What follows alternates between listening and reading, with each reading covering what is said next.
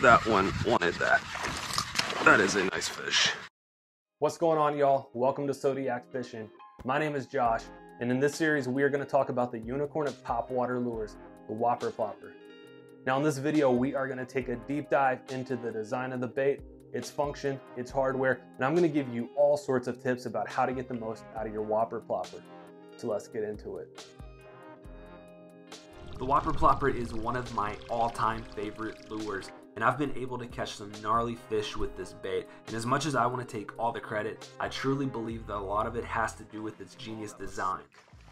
Now, at first glance, the Whopper Plopper might look like a stick bait or a spook, but it's actually a two-piece lure. It has a connected cylindrical shaped plastic head and body, which is one piece, and a disconnected tail, aka the propeller or the prop. Now, because the body and the propeller are disconnected, it allows the tail to freely spin on a straight wire while the body remains neutral. Now, unlike the hard plastic body, the propeller is made of a soft, pliable material which bends, and when it's bent, it'll actually flex back into position. And I think this is one of the things that sets this bait apart because the propeller can really handle a beating, whether it's stumps, rocks, or even big toothy predators. As we keep moving on, let's check out these hooks. All six Whopper Plopper sizes will come with two treble hooks, but the sizes of the hooks are determined by the size of the Whopper Plopper. Now, as far as quality goes, I think these hooks are rather decent, and I found them to be quite sharp and ready to go straight out of the package. I've had no problem landing big fish like this 50 inch monster on the original hardware. Now, with that said, I replace all of my hooks, and I replace them for two reasons. One, I have broken several treble hooks in half by making poor casts up against rocks. And second, I have lost a few fish because of hook bends, like you see here. Now, when I'm replacing my hooks, I like to use VMC round bend hooks like these. And I also like to go up one size on the body hook, which I think helps keep that nose buried a little bit lower as you're pulling it through the water while also adding additional hook coverage on that front end. Now, if you don't want to initially change out the hooks, that is fine. Like I've said, I've landed a lot of fish without any changes made, but I think you will eventually want to change them out because the front hooks will rub up against the side of the body, causing a rash and scratching off the paint. And of course, along with other things like debris, weeds, hooking into other fish, your hooks will eventually get dull anyways. So why not invest a little bit into some hooks that might hold up for you a little bit longer than the original hooks? Okay, let's talk about split rings. All of the Whopper Plopper sizes have split rings that connect the treble hooks to the body and the propeller inline wire. But not all sizes of the Whopper Plopper will come with a split ring on those beefy line ties. Only some do. I don't really have a strong opinion when it comes to the split rings on the Whopper Plopper. I know some anglers immediately replace the split rings, but I haven't experienced any problems like I have with the hooks and I don't change these out. But if it gives you peace of mind, go for it. For the last design discussion point, we are going to touch on color. Now, color is a complicated topic and it deserves a lot more time and attention. So, in this video, I am going to give you my simplified opinion, but we will dive deeper into color and conditions in another video. So, stay tuned for that. When it comes to the Whopper Plopper, River to Sea, who makes the Whopper Plopper, they offer a wide range of color options and patterns.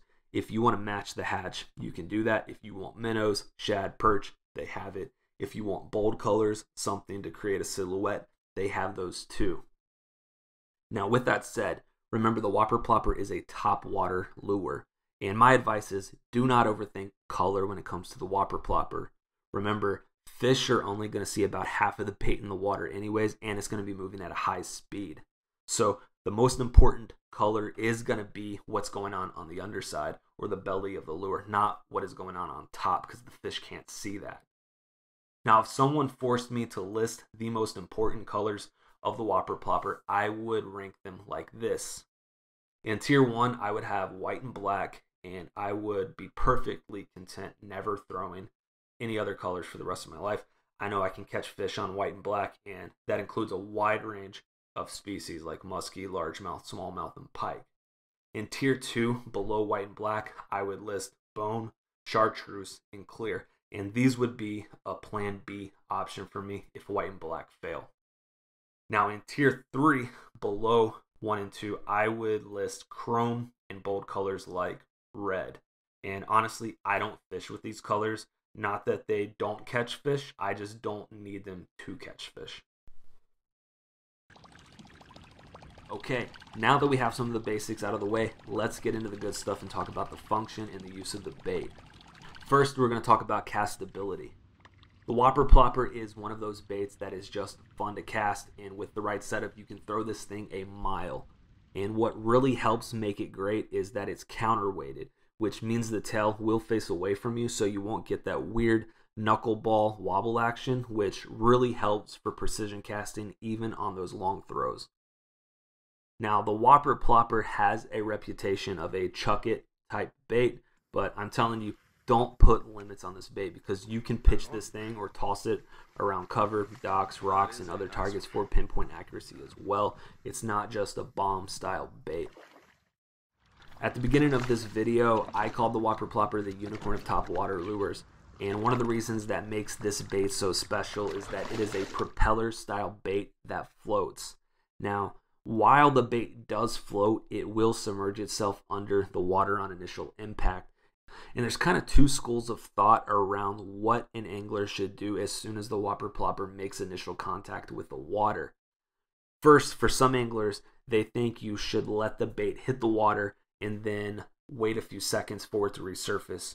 Once the bait resurfaces, you can then begin retrieving. And the advantage here is that you'll cut down on collecting weeds and grass and tangled up because it's generally in that first few feet or yards that your whopper plopper will actually pick up weeds and grass. But if you wait, you can reel over top of them instead of through them. Now, the second school of thought is to not wait for the lure to resurface on its own, but instead you just reel immediately, or maybe even start reeling before it hits the water. And this is kind of the same mindset that you would have with a buzz bait, and the goal is to get the bait to the top of the surface as fast as possible. Now, the oh, second option does put your lure in position to get caught up more, but here's the deal. I personally would risk collecting weeds over letting my whopper plopper slowly rise to the surface because I do not want a fish to get a good look at this bit. I want the fish to hear the splash landing, see it, and hear it immediately on the move. So for me, option two allows for the chance of an instant strike, but option one, I don't think it gives you the best chances for a reaction strike. Instead, I think a fish might get a good look at it and maybe even move on from it. Now, speaking of grass and weeds, I have two tips for you. The first tip is after every retrieve, make sure you always check to see if weeds or grass are caught in between the body and the propeller. You'll probably know this as you're reeling the whopper plopper into you. But if the propeller cannot spin freely, then what will happen is the body will begin spinning instead of the propeller, and as a result, you'll end up dragging the bait across the water or barrel rolling it, and that will just do damage to your line. So so before every cast and after every retrieve, make sure that you do not have gunk and grass and weeds and all that stuff caught in between the body and the propeller. The second tip is about the design of the Whopper Plopper itself. And for those who do not know, not that long ago, River to Sea updated the Whopper Plopper. And some of the older editions of the plopper were designed so that the tail and the body would actually close or pancake together and the older design made it extremely easy to catch grass and it was almost even more difficult to remove that grass. Now, recently River to Sea has updated and designed a feature to help resolve this issue. So some ploppers now have a weed buffer and the head of the propeller now fits into a cupped out body. And in my experience, the buffer is a great design, but it doesn't guarantee you won't catch grass. But I think it does help you get that grass out a little bit easier than you could before. Now, my golden nugget is this when you are purchasing a Whopper Plopper, if you are purchasing one in person and not online, make sure you buy one with a weed buffer because in some of the stores around me, at least, they still sell the older models. So look for that buffer when you're picking out your next Whopper Plopper.